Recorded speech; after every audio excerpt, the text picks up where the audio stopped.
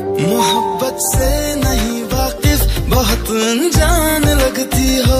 हमें मिलना ज़रूरी है, हकीकत ना समझती हो। हम्म, कोई कैसे समझ पाए किसी के दिल का अफसाना। मोहब्बत में कोई आशिक क्यों बन जाता है दीवाना?